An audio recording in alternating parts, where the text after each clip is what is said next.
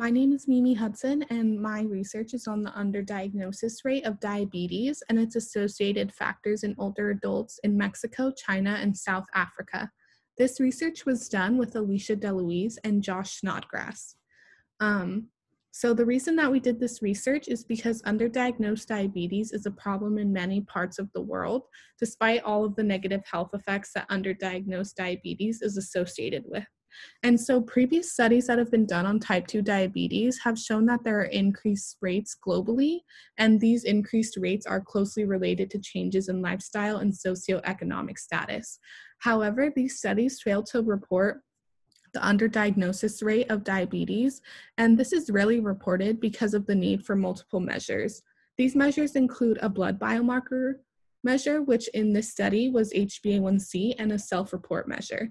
The objective of this research was to describe the rate of actual diabetes compared to self reported diabetes diagnosis among older adults using data from the World Health Organization's SAGE study, which is the study on global aging and adult health. The hypothesis was that the underdiagnosis of diabetes would be associated with being male, being unmarried, being less satisfied with healthcare, having lower wealth or socioeconomic status, and with decreased physical functioning. And so the methods um, used were um, H- taking HbA1c from dried blood spots, which were analyzed in each country separately, and values equal to or above 6.5% indicated diabetes. Um, unfortunately, with HbA1c, you cannot tell the difference between type 1 and type 2 diabetes. And the um, diabetes diagnosis self report, um, the question that was used was Have you ever been diagnosed with diabetes?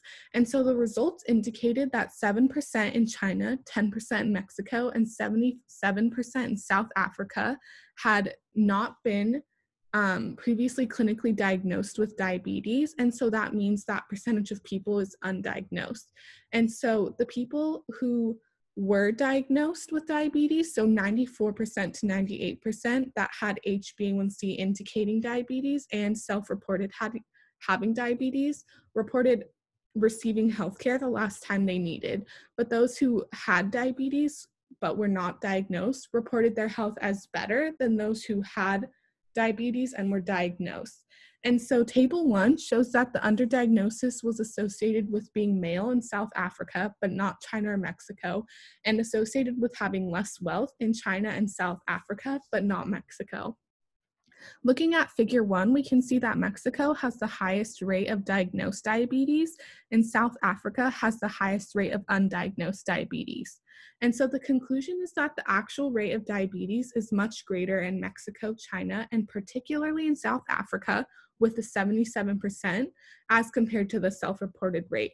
So the data shows that the underdiagnosis of diabetes was associated again with being male in South Africa and having lower wealth or socioeconomic status in China and South Africa. Contrary to the hypothesis, marriage, physical functioning, and healthcare satisfaction were not shown to be related to diagnosis of diabetes. Um, and the issue with having undiagnosed diabetes is that health in those that do um, have diabetes but do not report having ever been diagnosed with diabetes um, could rapidly decline if healthcare services are not utilized. And the reason that these healthcare services are not utilized, or the most likely reason, is because they perceive their health as being okay. And so, one of the main conclusions is that having um, regular health screen is very important, even when health is perceived to be okay. And so, um, those who did have undiagnosed diabetes but were otherwise healthy are not utilizing healthcare services, which is um, showing that even though their health seems to be okay, it's not.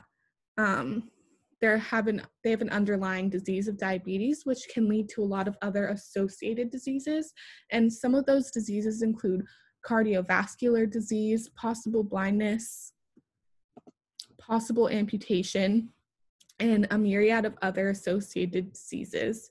And so I would like to thank the participants in this study, um, the PIs of this study, and all of the statistician of the study, and all of those listed in the Kowal et al. paper. Um, I would also like to thank Alicia DeLuise and Josh Snodgrass for helping me conduct this research. And um, I would like to conclude by saying um, underdiagnosis of diabetes is a problem in a lot in many parts of the world. So getting health screened is extremely important, even when you perceive your health as being okay. Thank you.